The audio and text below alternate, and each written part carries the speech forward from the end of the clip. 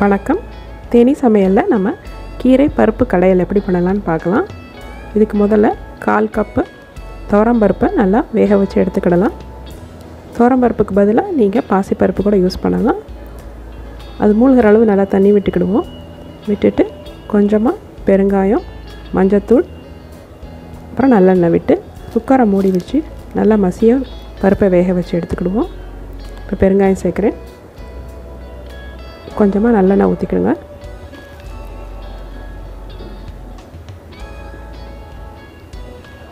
பருப்பை மூடி வச்சு நல்லா மசிய வேக வச்சுக்கிடுவோம்.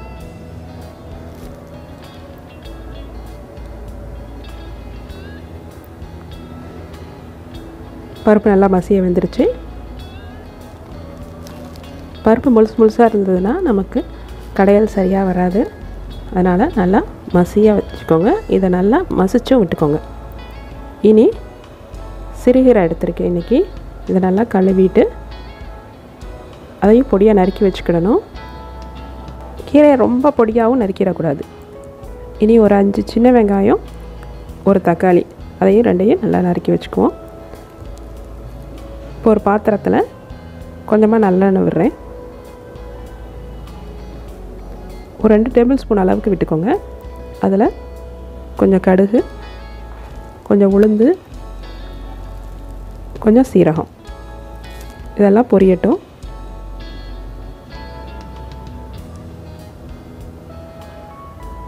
இதெல்லாம் பொரிஞ்சதுக்கப்புறமா கொஞ்சம் கருவேப்பிலை போட்டுக்கோங்க.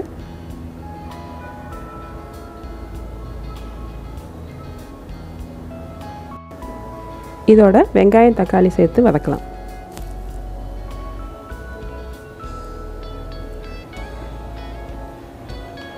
தக்காளி ஓரளவுக்கு நல்லா மசிகிற ஸ்டேஜ் வர வரையும் வதக்கி விட்டுருவோம்.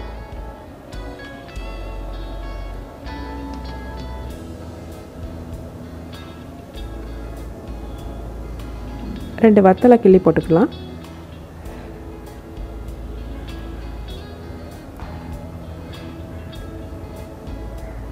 தக்காளி ஓரளவுக்கு மசிஞ்சிருச்சு. இனி இதோட நான் கொஞ்சமாக சாம்பார் பொடி சேர்க்க போகிறேன் ஒரு ரெண்டு டீஸ்பூன் அளவுக்கு சாம்பார் பொடி சேர்த்துக்கலாம்.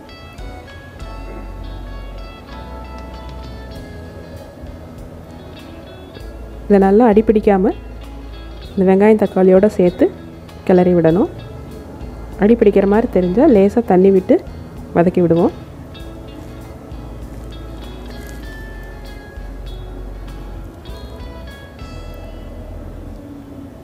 கொஞ்சம் பச்சை வாடை போனதுக்கப்புறமா நம்ம அறுத்து வச்சுருக்கிற கீரையை இதோட சேர்த்துக்கிடலாம். இனி நம்ம கீரையை இதோட சேர்த்துக்கிடலாம்.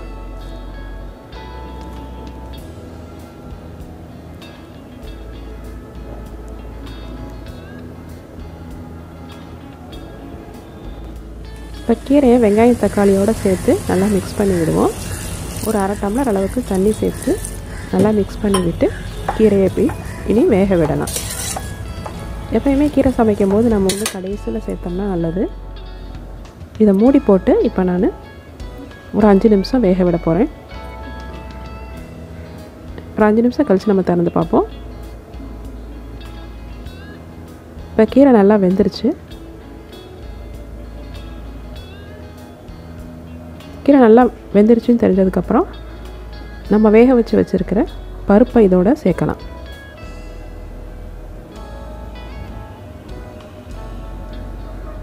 பருப்பை சேர்த்து நல்லா ஒன்று போல் கடைஞ்சி விடணும். நம்ம இதை கரண்டி கொண்டு இல்லாட்டினா மத்து வச்சுருந்தோம்னா மத்து வச்சு நல்லா ஒன்று போல் கடைஞ்சி விடணும். அப்போ கீரை நல்லா மசிஞ்சிரும் இந்த பருப்போடு சேர்ந்து. இப்போ நான் கரண்டிலே மசிச்சு விடுறேன். நீங்கள் மத்து வச்சுருந்தீங்கன்னா நல்லா மத்து வச்சு நல்லா கடைஞ்சி விட்டுருங்க.